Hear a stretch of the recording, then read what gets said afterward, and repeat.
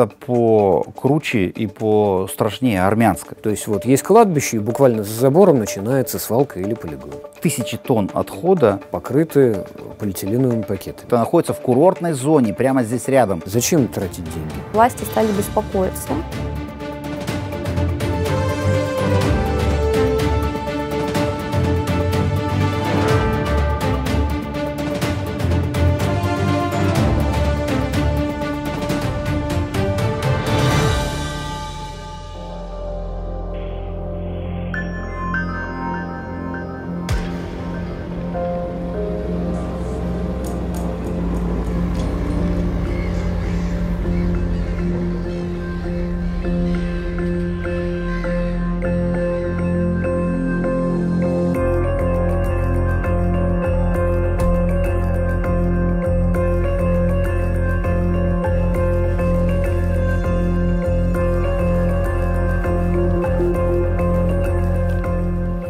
Полтора года назад эксперты «Зеленого патруля» посетили городскую свалку Евпатории, и, как мы видим, с тех пор здесь абсолютно ничего не изменилось.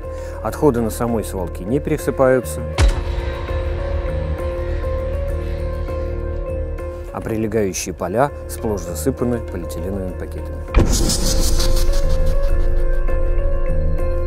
На этой свалке наши эксперты обнаружили очаги тления. Отходы не пересыпаются, а значит Полигон неоднократно горел и будет гореть. Городская свалка Евпатории для Крыма не исключение. Здесь, как и на многих других, нет ограждения.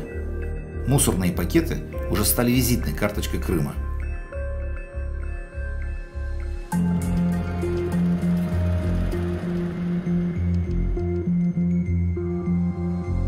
Полтора года назад мы были на этой сельской свалке возле парка ветрогенераторов в Сакском районе Республики Крым. Как видим, с тех пор абсолютно ничего не изменилось. Отходы по-прежнему продолжают завозиться. Особенно несуразной смотрится эта свалка у поселка Крыловка. На контрасте с современными экологическими технологиями, парком ветрогенераторов, мы видим объект, который эксплуатируется со всеми возможными нарушениями. Здесь также нет пересыпки, что без сомнения рано или поздно обернется пожаром, который может перекинуться на парк ветрогенераторов.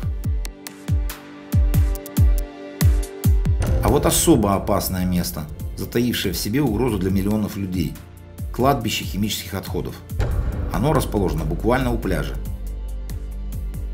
Экспедиция «Зеленого патруля» находится на одном из объектов накопленного экологического вреда на территории Республики Крым. Сейчас мы находимся на развалинах бывшего Сакского химического завода.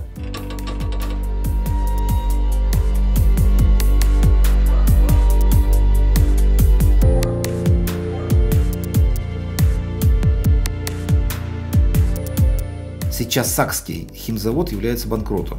На его территории в районе Красного мыса в шламонакопителях находится порядка 70 тысяч тонн отходов второго, третьего, четвертого классов опасности. Это тяжелые металлы – медь, марганец, никель, кадмий, цинк, а также мышьяк, фенолы и нефтепродукты. Кроме того, есть информация о высоком уровне химических загрязнений земель. И это все в границах санитарно-курортной зоны. Удивительно, что данная проблема замалчивается властями. Вообще-то это по круче и по страшнее армянской, потому что тысячи тонн отхода второго класса опасности находятся в, в совершенно в заброшенном виде. То есть не проводится никакого местного мониторинга, никакой, никакой оценки на воздействие окружающей среды. Во-первых, э, как бы, знаете, как говорят, не теребите раньше времени, но время-то пришло. Дело в том, что если это опять же рванет, рядом же вот курортная зона, это я же говорю, это находится в курортной зоне, прямо здесь рядом, рядом с пляжами. Вот такое огромное хвостохранилище химических, э, химических э, отходов. За опасными отходами никто не следит.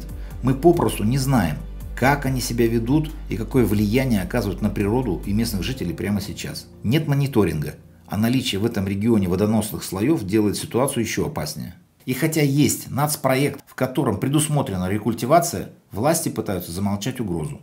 Нельзя больше закрывать глаза, их можно не открыть потом. Такой эффект мы уже наблюдали в одной из наших прошлых экспедиций. Когда мы в Красноярском крае в одной из деревень э, нашли кладбище, деревня уже давно отселена в санитарно-защитной зоне, не буду говорить о предприятии, которое, скажем так, эксплуатировало данный объект, э, деревня уже давно отселена, и мы просто присмотрелись к могилам. И мы увидели, что, скажем так, год э, смерти и год рождения не превышал 40 лет. Почему-то в Крыму принято многие полигоны либо свалки размещать прям не рядышком, а буквально бок о бок с кладбищами. То есть вот есть кладбище, и буквально за забором начинается свалка или полигон. Вот такой характерной особенности, такой полигонной изюминки я, честно говоря, не видел нигде. Красноперекопский район, где мы были, да, приезжаем, тут же обжигают отходы, нарушение всех возможных норм. То есть, ну, единственная радость одна, что все-таки это был зимний период, да, влажная погода, и обжиг этих отходов с меньшей вероятностью приведет к пожару на свалке. В сухой же период такая деятельность, она однозначно приведет к пожару, и общение с местными жителями подтвердило, что эти полигоны в кавычках полигоны горят постоянно. Всего лишь два полигона находятся в государственном реестре, один из которых был введен в 2018 году в эксплуатацию, а второй на севере. Ну, он достаточно старенький, но он хотя бы более-менее чистый. Что касается всех остальных полигонов, то есть это практически 90%, на них э, с разной периодичностью можно выявить тот или иной букет нарушений природоохранного законодательства. То есть на любой полигон или по его зайди или пройдись по его окрестностям, обязательно целая куча нарушений будет, потому что многие из них просто не пересыпаются. Почему? Ну, это же владельцам полигона ну, нужно деньги тратить. Зачем тратить деньги? Вот, они просто не привыкли это делать, например, на пересыпку слоев отходов изолирующими слоями грунта. Вот, они просто тупо на этом экономят. Прилегающие территории, как правило, сильно захоронены, а в Крым, Крым это сельскохозяйственный регион, соответственно, это поля, как правило, сельхозугодия. Они ровным слоем покрыты полиэтиленовыми пакетами. Почему? Потому что ограждения на многих полигонах просто нет. Они сами себя контролируют. Ну, если я сам себя контролирую, естественно, я себе много могу простить.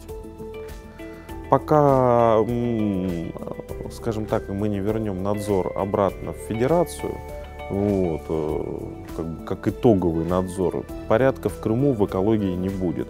Потому что, ну, вы поймите, переход, э, скажем так, из Украины в Россию, да, возвращение Крыма, это же, ну, для контингента определенного замечательная возможность э, присвоить себе что-то, что было общим или государственным, или забрать чье-то частное в свои руки. То есть, ну, по сути, мы говорим о коррупции. Но мы не отчаиваемся.